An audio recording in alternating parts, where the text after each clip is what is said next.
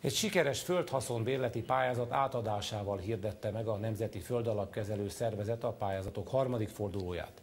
A Pest megyei Gomba település határában tartott tájékoztatón elhangzott, hogy első körben mindez ideig 21 ezer hektárhoz jutottak a pályázók, de folyamatosan kötik a szerződéseket. Ányá József volt államtitkár kritikáira, a miniszteri biztos azt mondta, hogy azok prekoncepción alapulnak. Gratulálunk a gazdálkodónak a sikeres pályázatért, és a gazdálkodásához pedig sok sikert kívánunk. Köszönöm szépen. Nagy László Kiskunlacházán és Dömsödön nyert 46 hektárt. Kiskunlachház ott élek, és ott gazdálkodok. Édesapámmal családi gazdálkodás formájában gazdálkodunk. Ez a föld azonban nem Kiskunlacházán van, hanem egy másik, szintén sikeresen pályázott családi gazdálkodó földje, a Pest megyei Gomba határában, ahol már szántanak. A pályázatok körüli vita miatt mindkét gazdálkodót kérdeztem esetleges Fideszes kapcsolatáról.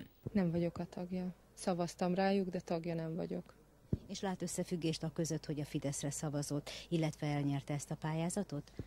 Hát annyiban esetleg, hogy, vagy hát látok, hogy talán a kicsik mi gazdálkodók, őstermelők földterületekhez van esélyünk hozzájutni.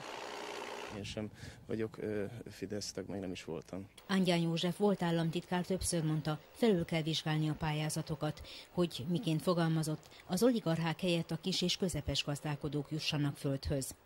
Próbálom kétségbe esetten magyarázni a saját képviselőtársaimnak és mindenkinek, hogy ez az út nem csak azért rossz, mert hazudunk, mert nem azt mondtuk, mint amit most teszünk, hanem szakmailag cső. A volt államtitkár hónapok óta hangoztatott kritikáira a miniszteri biztos így válaszolt. A statisztikai adatok nem állják meg helyüket, önkényesek és egy bizonyos prekoncepció alapján készültek. De hogyha Ángyán József valótlanságokat állít, akkor miért nem jelentik fel?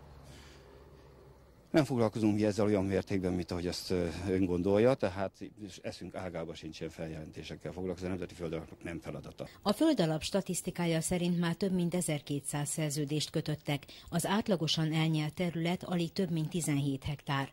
A pályázók töredéke 2%-a jutott 100 hektárnál nagyobb földhöz. Ezekkel változunk az ország különböző helyein, találkozunk ilyenekkel Csongrád megyében, találkozunk ilyennel például Fejér megyében is, de találkozunk más megyékben is.